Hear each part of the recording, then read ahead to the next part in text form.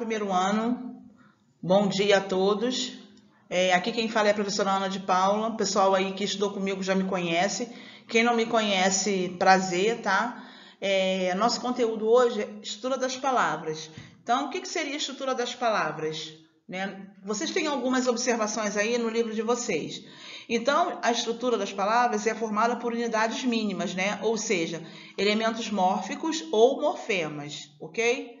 Vamos a mais aqui um exemplo. O radical. O radical é a parte fundamental da palavra. Por quê? Porque é através desse radical aqui que eu vou criar outra. Então, ela, como vai, ela, é, ela vai aparecer como se fosse é, a raiz, né? Para criar outras palavras, ou seja, substantivo derivado. Então, de falso eu tenho falso e falsidade. O verbo vender é a mesma coisa. O verbo vender é um verbo regular, por isso ele vai ter o mesmo radical. Vende. Ó, eu vendo, tu vendes, ele vende. Nós vendemos, nós vendes, eles vendem. A mesma coisa aqui, os exemplos, ok? Vamos a mais um exemplo aqui. Afixos são prefixos e sufixos, né? Então, se os afixos são prefixos e sufixos, eu vou acrescentar ao meu radical, que é a palavra raiz, um prefixo. Aqui é o des, então eu vou formar a palavra descontente. Impossível. O in foi, foi acrescentado aqui a, ao radical, né? O então, ele vai ser o quê? Prefixo, ok? A mesma coisa é o verbo cantar, eu tenho aqui sufixo, no caso, né? A mesma coisa não. Eu aqui já tenho outra classificação, são os sufixos. Então, através do verbo cantar, cante, radical, né? Então, eu vou formar outras palavras, só que aqui foi o acréscimo de quê? De um sufixo. Então, tudo aquilo que vem antes do, do radical, prefixo. Tudo que vem depois, é o que? Sufixo. Mesma coisa a palavra tolerante. O to toler, né? E o toler é o radical. Ante é o sufixo, que eu formei outra, outra palavra através do radical. Realismo vem de real. Então, real vai ser o quê? Radical. O ismo será o meu sufixo. Vamos a mais um exemplo aqui. Vogal, né? Ou vogais e consoantes de ligação. Eu tenho aqui vogal e consoante de ligação. Eu vou ter o quê? É, a ligação, né? Que, vou, que vai ocorrer entre os morfemas.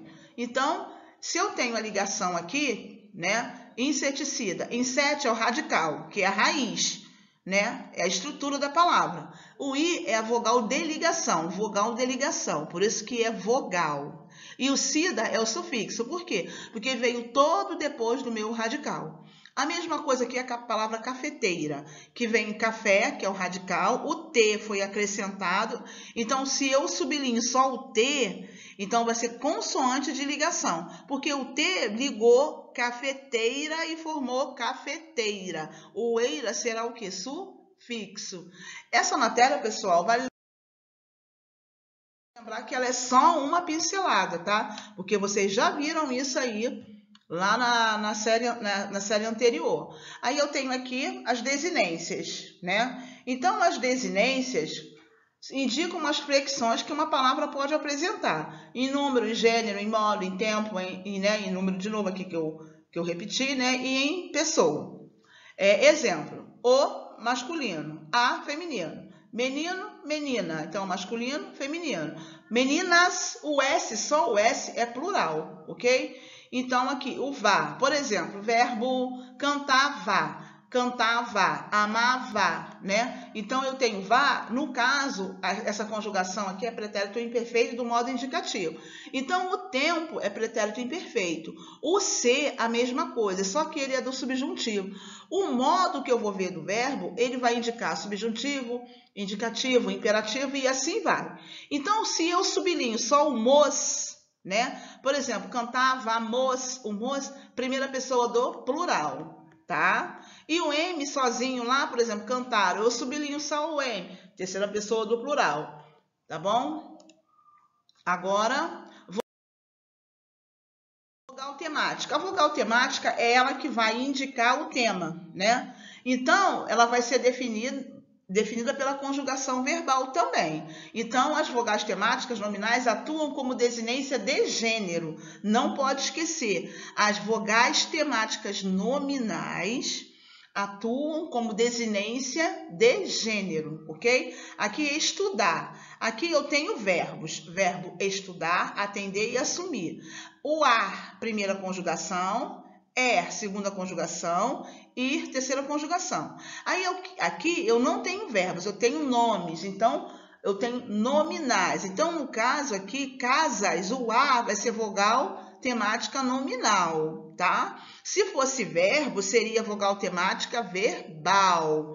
Então, aqui, carro, vogal temática nominal, casa, vogal temática nominal, porque vem de nome, é uma descendência de gênero, se é gênero masculino ou feminino, tá? Agora, o processo de formação de palavras, tá? É o processo de formação de palavras, eu vou ver vários, vários processos, né? É, há em português palavras primitivas, derivadas, simples e compostas, né? Então, primitivas são aquelas que não provêm de outra palavra, pedra e flor. Se eu tenho a palavra pedra, é, é, é a palavra primitiva, mas se eu colocar pedreira, pedregulho, flor, floresta, floricultura, eu vou ter o quê? Derivadas. Então, eu vou derivar, como tem aqui o exemplo de pedreiro, que eu posso derivar de pedra. Aí, pela palavras simples, só que possui apenas um radical. Azeite, cavalo, mesa, é, cadeira.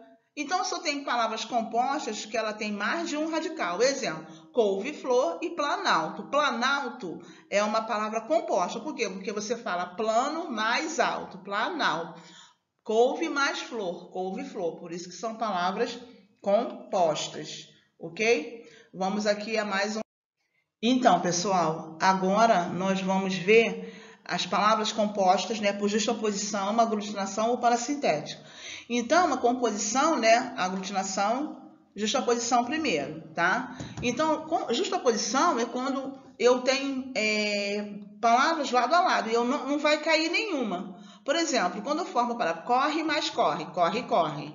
Guarda-roupa, guarda mais roupa. Segunda-feira, segunda-feira. Agora, girassol, gira mais sol, girassol. Então, nenhuma palavra, nenhuma, nenhuma unidade mínima caiu. Então, por isso eu tenho justa posição. Então, só juntou, por isso é justa posição. Aí, agora, eu tenho composição por aglutinação. É quando ocorre os elementos, né, que formam o composto, aglutinam-se e pelo menos um deles perde sua integridade sonora. Olha só, na justa posição não perde, agora na composição por aglutinação, sim. Aí eu tenho aqui os exemplos, né, da palavra aguardente, água mais ardente. Quem é que caiu aqui, né? Um azinho aqui. Planalto, plano mais alto. Quem caiu? O O.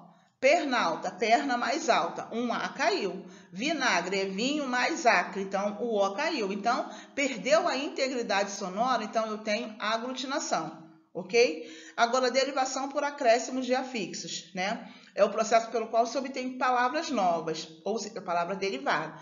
Então, prefixal ou prefixação é a palavra nova, é obtida por acréscimo de prefixo. É como eu havia dito lá no início da aula, né? Eu acrescentei prefixo, eu posso colocar prefixação. Se eu acrescento sufixo, sufixação.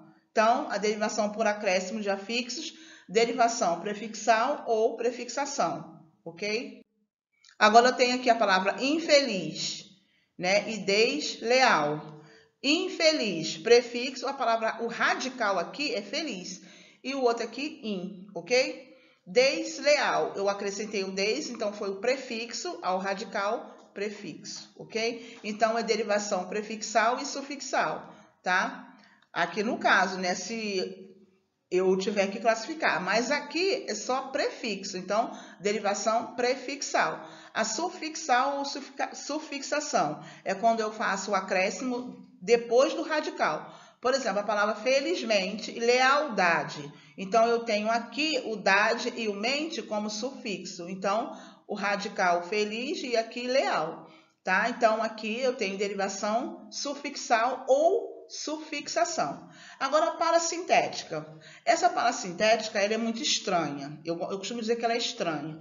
Por exemplo, se eu não tivesse esse E aqui, existiria a palavra tristecer? Não. Então, eu tirei do, do é, o, o afixo aqui o prefixo. E se eu tirar também o, o sufixo entriste, vai existir? Não. Então, se eu tampo um desses pedacinhos aqui e eu vejo que a palavra não tem existência, é o quê? Parasintética, tá? Prefixo, a mesma coisa aqui, entardecer, tá? Se eu não tivesse o em, aí ficaria tardecer. E não existe essa palavra. Então, aquilo que não existe na língua portuguesa, né? Não tem, não tem sentido, eu vou marcar como parasintética, ok? É, vocês vão ter aí mais alguns exemplos no livro de vocês e algumas atividades que eu passei. Eu passei bastante, tá? Alguma dúvida, vocês tirem lá na hora tá, da aula. E agora vamos à parte melhor que eu acho fundamental. Atividade livro de língua portuguesa, página 18, 19, 20 e 22. Aí casa 26, 27, 34 e 35. Depois vocês vão pesquisar outros processos de formação e anexar no caderno. Primeiro ano, é, a nossa aula acabou, tá? Eu espero que vocês tenham entendido, mas se ficou alguma dúvida, tá? Eu aguardo vocês na nossa aula, tá bom? Então, vocês agora já sabem que vão estudar comigo, ok? Beijo no coração de vocês e boa sorte!